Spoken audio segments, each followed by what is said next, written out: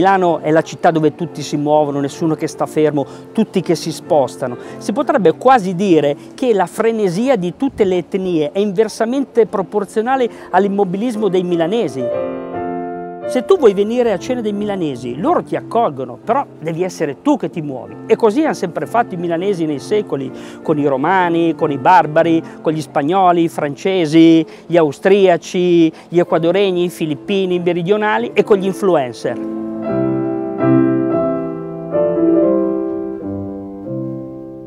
Milano non è mai stata bella come in questo momento. Milano è una città straordinaria e anche bizzarra. A Milano i boschi crescono in verticale, in piazza Duomo ci sono le palme, gli architetti a Milano tirano su i grattacieli come se fossero dei cavaturaccioli. Milano è piena di gente, Milano è piena di code, code in via Monte Napoleone per i saldi, 71.000 persone per vedere Inter-Chievo, 65.000 persone per vedere Milan-Cracovia, code fuori dai musei, code fuori dalla scala. Ma voi lo sapete qual è la coda più lunga che c'è a Milano? Fuori da un ristorante. E quale ristorante? La mensa del povero 4.500 coperti tutti i giorni, 5 stelle di gradimento su TripAdvisor, telefonare prima e prenotare perché la lista d'attesa è abbastanza lunga. Eh? Primo, secondo, contorno, frutta, acqua gassata e liscia, caffè senza l'ammazza caffè, eh? rapporto qualità-prezzo imbattibile, gratis. Se proprio devo dire un qualcosa, la pasta delle volte è un po' scotta, però provate voi a fare la pasta per 4.000 persone, dai, su. Cioè io la sbaglio quando siamo in tre.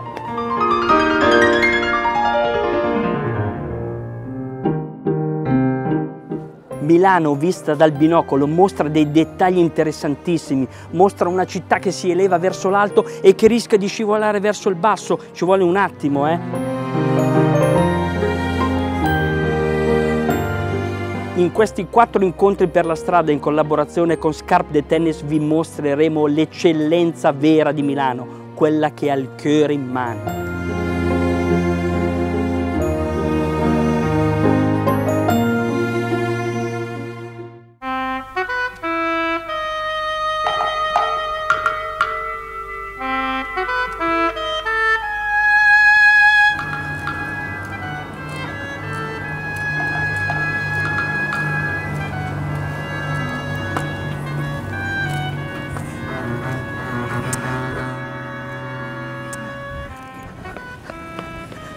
Ma no, dai, sai che bucata la gomma, sono già in ritardo, sono tutto sudato, tutto sgualcito, sono cusciato dietro via, sono cusciato come un barbù.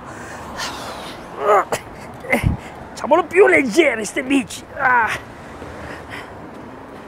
Comunque, ho voluto portarvi in questo posto speciale la casa d'accoglienza Enzo Iannacci perché mi sembrava il luogo migliore per cominciare i nostri incontri sulla strada. Quel posto qui è a 5 minuti dal centro, eh. se la bici non ti si buca, capito? Se non succede qualcosa. È un luogo veramente speciale, grande. Voi non immaginate quanto sia grande. È grande come, come San Siro, un posto... Venite, adesso vi faccio vedere delle cose incredibili. Suono, eh? aspetta un attimo. Aprite! Sono Giacomo! Giacomo! Eravamo d'accordo! Era aperta. E per forza una casa d'accoglienza può mica essere chiusa, eh.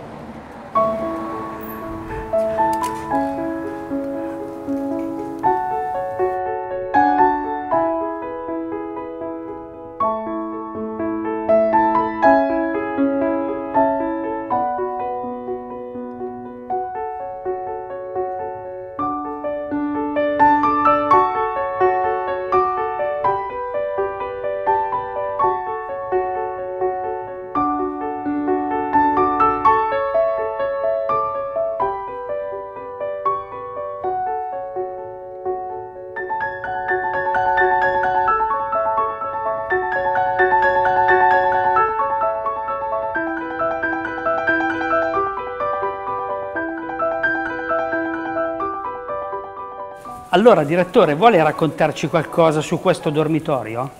Questo è conosciuto dai milanesi come il dormitorio di Viale Ortles, mm. in realtà da qualche anno è la casa dell'accoglienza Enzo Iannacci. Qui trovano ospitalità 475 persone mm. e durante la fase... 475? 475, 54 nazioni rappresentate. Nepal? C'è. Burkina Faso? C'è. Libia? C'è. Tunisia? C'è. Marocco? C'è. San Marino? No, quello eh, manca. Eh, lo manca. Ma prima o poi uno sfigato Ma da San Marino arriva. Ma vediamo.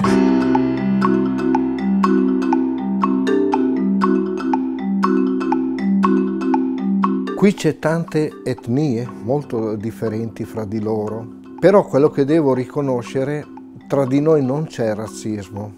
C'è la persona che pensa che magari quella è troppo diversa, non c'è un dialogo, poi quando tu impari a conoscerle non esiste più questo razzismo tanto raccontato qui, io qua dentro non l'ho ancora visto.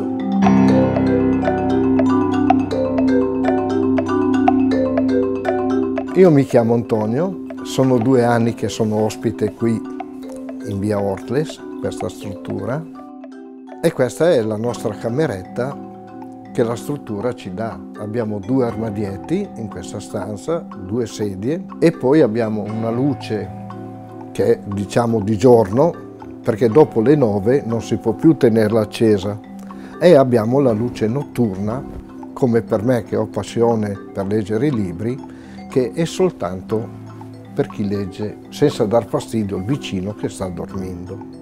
I libri vado nelle biblioteche, che c'è anche la biblioteca qua che è molto bella, a me piacciono i gialli, l'orrore, insomma, eh, mi piace questo genere e vado a cercarli che il tempo c'è in varie librerie, da via Tibaldi, via Olio, le conosco tutte.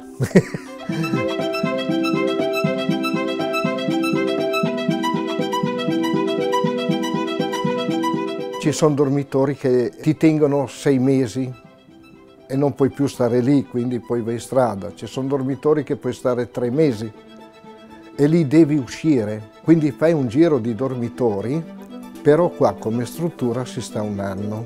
Poi dopo, tramite assistenti sociali, educatori, si stabilisce un percorso formativo di lavoro, di studi e quant'altro che loro aiutano a star qui anche di più. Io sono qui da due anni. Per me qui è stato positivo da un lato perché piuttosto che dormire in strada è meglio stare qui. Chi non gli piace dormire nei dormitori e preferisce andare a dormire in strada, ho alcuni amici che là al Duomo loro dormono là, non ne vogliono sapere purtroppo dei dormitori, che per loro non è una bella cosa. Però le amicizie che si sono fermate qua eh, non si sciolgono più.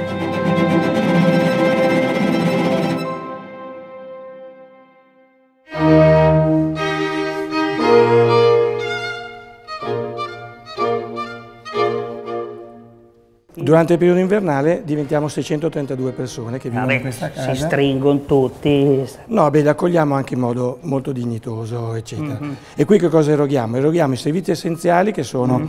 l'accoglienza per dormire, la mensa e abbiamo una particolarità che è l'infermeria, abbiamo anche degli infermieri. Ah. Ed è complessivamente la struttura più antica che c'è in Europa attualmente in più funzione. Più antica d'Europa, ha detto? Sì, struttura pubblica. Però Vuole lasciare da me la bicicletta? No, grazie, la, la tengo io, se, se, non si offende. Eh. Qua è sicuro, però, se vuole... Sicuro...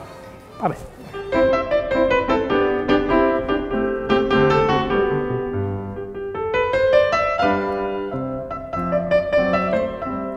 Sentite, già che sono qua in questo posto che è pieno di servizi, io mi faccio fare anche un bel check-up, eh?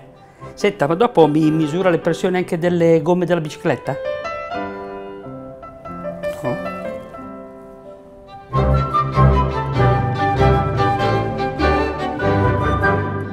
Questa casa di accoglienza è stata intitolata a Enzo Iannacci nel 2014 e non a caso.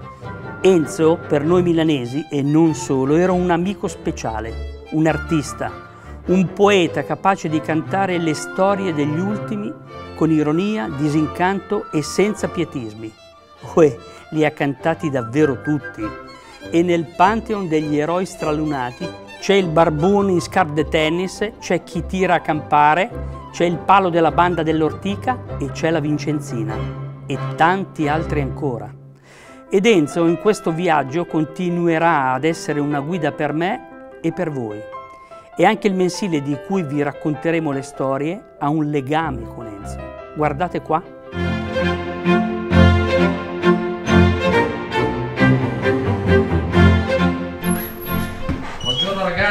Eccoci, buongiorno. Giacomo, ben arrivato, questa è la redazione di Scarpe Tennis.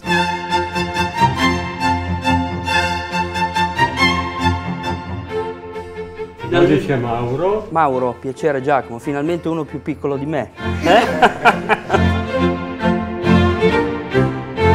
Direttore, ma cosa diavolo è questa rivista?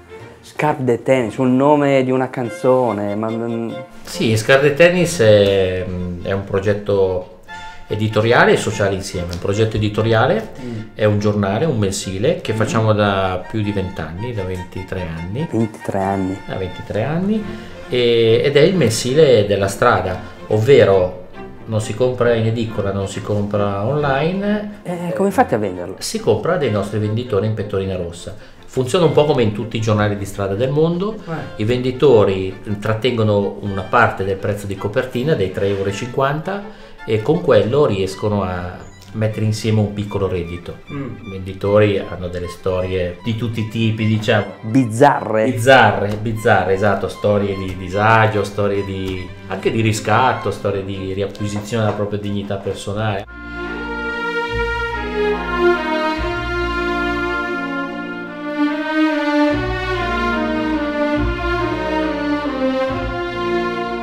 Oggi Scarpe è cresciuto, eh, siamo in 13 città italiane, da Milano a Napoli, da Firenze a Venezia, da Padova a Torino a Genova. Qui a Milano è il cuore della, della redazione perché Scarde Tennis nasce, nasce, a Milano. Quante copie vendete? Vendiamo quasi 20.000 copie al mese. Ah però! Noi abbiamo la Caritas alle spalle che ci sostiene e cerchiamo di fare un mensile fatto bene perché noi dobbiamo scongiurare un rischio, no? che è quello di io prendo il giornale da una persona che me lo vende che è un senza dimora e quindi faccio un gesto di elemosina. Ecco, la persona senza dimora invece sta lavorando e quindi il giornale è uno strumento di lavoro. E le storie di Scarlet Tennis che adesso portiamo in tv con i nostri incontri sulla strada sono anche le storie positive, no? anche le storie come dire che hanno uno sfondo difficile, che hanno un retroterra amaro, cerchiamo di raccontarle con quel tono un po' di speranza, perché molto spesso anche quando leggi queste storie qua, tra virgolette, della sfiga, sono le storie che ti fanno piangere, c'è sempre l'aspetto pietistico.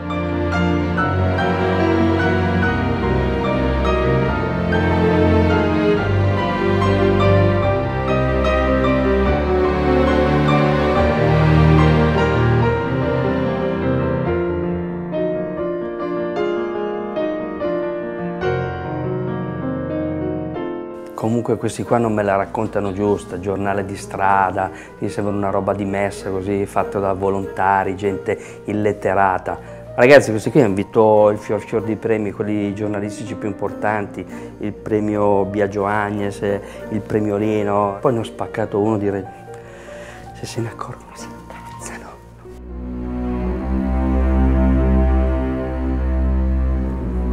Questo è il campione. Tra l'altro era di un vetro resinato particolare, adesso non so, adesso vado a comprare al supermercato del Vinaville e beh, era bello anche questo, eh. era andato critica internazionale. Vabbè.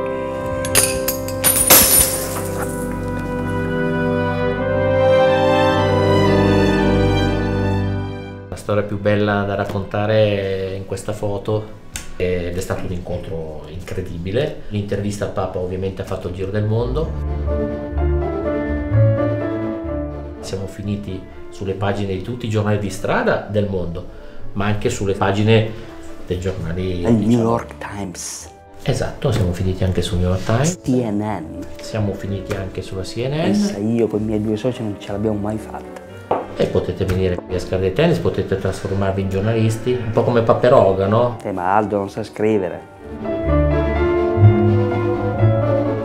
Ma mm, tolgo una curiosità, come è stato tradotto Scarf de Tennis in inglese? Ora il New York Times lo traduce con tennis shoes, Tennis shoes. le scarpe da tennis. Certo. Poi in Spagna lo hanno tradotto con eh, zapatiglia de tennis. Zapatia de tennis. Zapatiglia de tennis. Chi invece voleva fare sintesi, Sì? perché gli inglesi, Sì. gli fare sintesi, sneakers. Sneakers. Sì, però non ha la stessa storia. Di- non ha la polverosità del scarf de tennis. Soprattutto non c'è l'anima di Enzo Non Iannacci. c'è l'anima di Enzo Iannacci. Non c'è l'anima di Enzo Iannacci.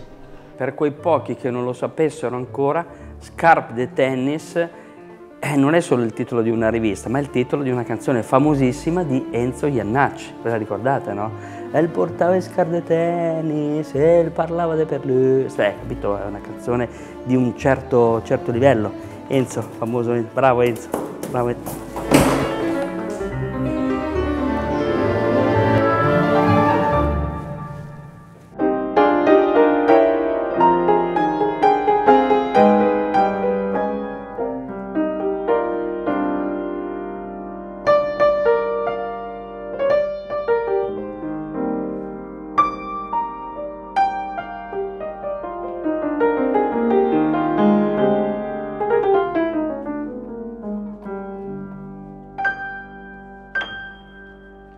È che potevamo incontrare alla casa Enzo Iannacci se non un altro grande musicista, figlio d'arte, Paolino Iannacci? Ma passavi di qua per caso oppure hai sentito... Per caso sono venuto in bicicletta, guarda, l'ho anche bucata, Ah, però... no, perché... No, infatti io, siccome ho visto dei microfoni, ho detto, beh, già che ci sono, senz'altro qualcuno può, Hai fatto bene può riprendere qualcosa. Posto qui è un posto eccezionale. Senti, ma mi togli una curiosità, ma secondo te, questo, So che ti piace... molto, questo luogo meraviglioso che poteva essere dedicato a un banchiere, a un santo, a un sindaco, a un medico, come mai l'hanno dedicato proprio ad Enzo? Ma... Ecco, secondo me è, è perché, a parte la zona che insomma è abbastanza, abbastanza nel, cuore, nel cuore di quello che, che il papà ha cantato. no? Periferia milanese. Esatto, ma perché lui aveva eh, un- una attenzione particolare per chi aveva bisogno, almeno sentiva, sentiva eh, delle problematiche che poi ha messo, ha messo in canzoni, in poesia, no? E, e questa attenzione, questa attenzione eh, poi la- la- ha generato tutta una parte della sua vita. Lui è diventato, lui prima di essere un artista è stato un medico. E quando uno è un medico sente eh, qualche cosa di particolare per l'altro, no? ha una, una- una sensibilità particolare per chi ha bisogno, per chi, per chi sta soffrendo e cerca di porvi rimedio. Forse eh, dopo tutta la carriera che ha fatto questa cosa è stata riconosciuta. Eh, direi che è stata riconosciuta a tuo padre, ad Enzo Iannacci, questa attitudine a intendersi del dolore, non Sì. solo fisico, delle malattie, ma anche le sofferenze delle persone, come diciamo noi, gli ultimi, gli sfigati. Eh sì, lui li lumava da lontano, no? come Eh. si dice, capiva subito se c'era qualcosa che, che non funzionava a dovere o viceversa. E quindi questa sensibilità l'ha, insomma, l'ha portato poi a essere un ragazzo di strada no? e, e ben voluto un po' da tutti. ecco. Sono i microfoni, Eh, non puoi tirarti indietro. No, faccio un pezzo, secondo me giusto un po' per varie situazioni, ma Sì. soprattutto perché io gliel'ho chiesto al papà, ma secondo te qual è il pezzo che ti rappresenta di più? È il portare scarpe del tennis, quindi ve lo dedico Ladies and gentlemen, Paolino Iannacci in El Portava Scar de Tennis.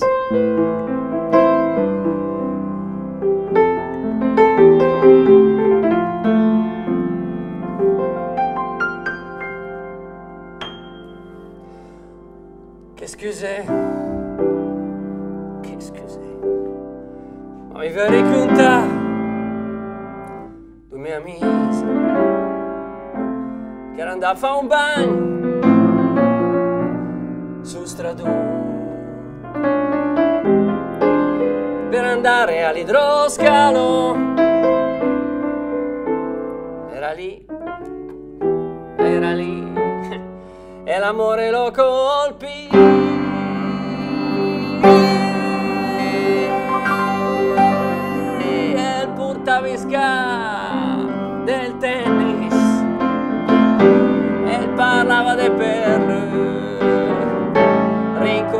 Da tempo un bel sogno d'amore. Da, da, da, da, da, del portavisca del tennis e che a due ste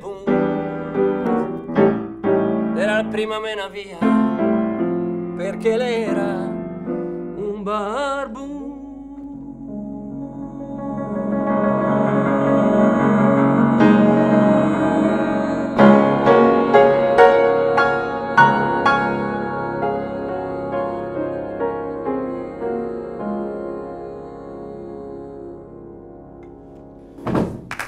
Grazie. troppo buoni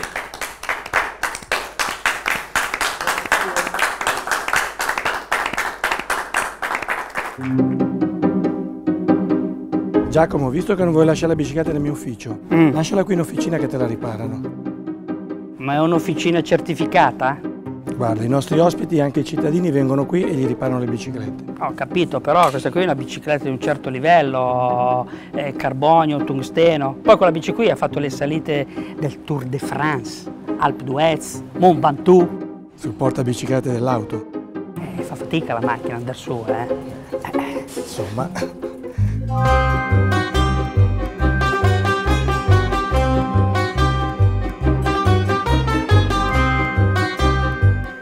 Allora, credo di aver capito. Oltre a dar da mangiare, a dormire e qualche farmaco quando uno ha la febbre o qualcos'altro, che cosa fate in questo bel posto?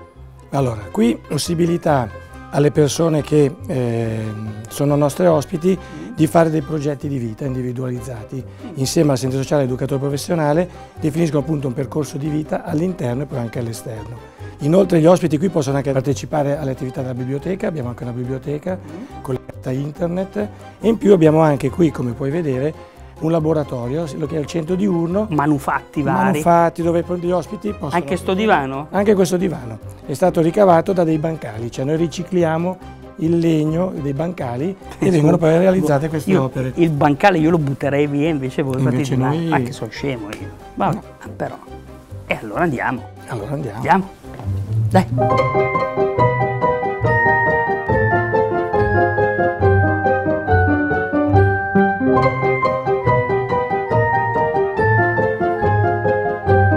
Adesso Giacomo ti presento Giuseppe, uno dei nostri ospiti, l'ospite creativo. Le Piacere opere- Giuseppe. Le opere che hai visto prima, Sì. le ha realizzate in parte lui e noi le mettiamo in vendita quando facciamo delle attività della casa e quindi i cittadini possono acquistarle, possono... Un falegname creativo, un Sì, artista. Sì, diciamo di sì. Eh, Ma mi sono scoperto, diciamo, artista, in questa strada intrapresa.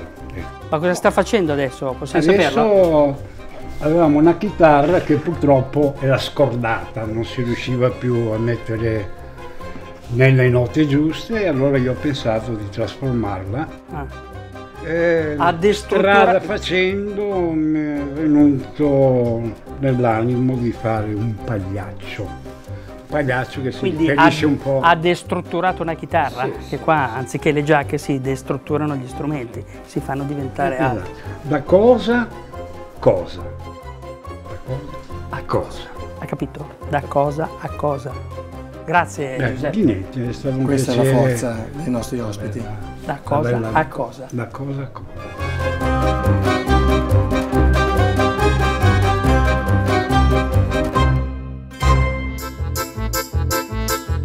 Diciamoci la verità, lo sappiamo tutti.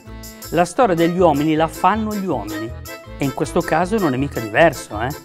Ogni settimana vi racconteremo la storia di uno dei venditori di scarpe. Storie che non sono mica sempre per palati delicati. Ecco il primo venditore della storia di questo giornale, Maurino, da Barletta.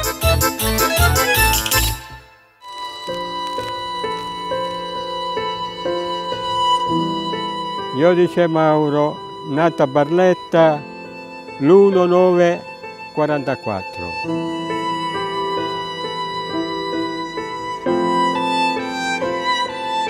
Adesso vivo a Milano e vendo una rivista che si chiama Scarpe da tennis.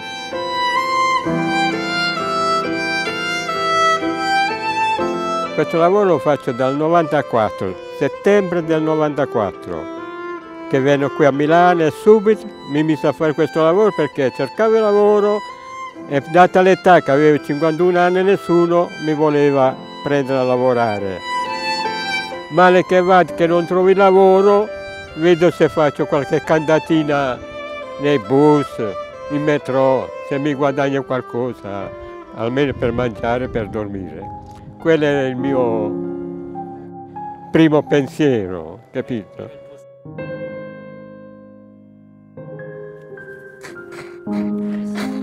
I ricordi sono ricordi, non è facile. Uscire da una brutta situazione non è facile, perché io quando partì da Barletta a 50 anni non ero sicuro di vivere qua.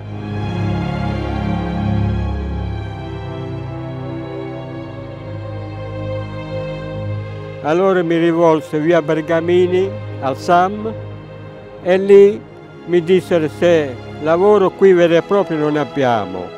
Se vuoi fare un lavoretto con il giornale c'è un giornale da vendere e ti puoi guadagnare da mangiare e il dormitorio. E così sono stato al dormitorio dal 94 al 99 finché l'assistenza sociale fece la domanda per farmi avere una casa, casa popolare. E ci riuscì.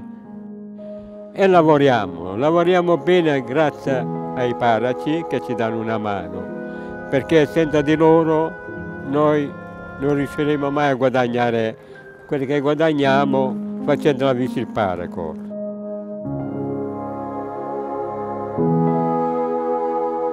Grazie a questo giornale io sono tranquillo e sono felice che lo vendo e che lo faccio questo lavoro perché grazie a questo giornale dalla strada ho una casa e non pensavo di sposarmi e comprare una casa nel paradiso a mia moglie che sarebbe il Brasile.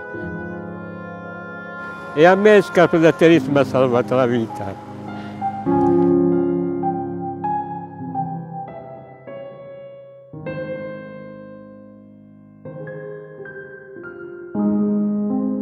Grazie ragazzi, eh. Come l'ha riparata bene, eh? Bravi. Bella questa officina.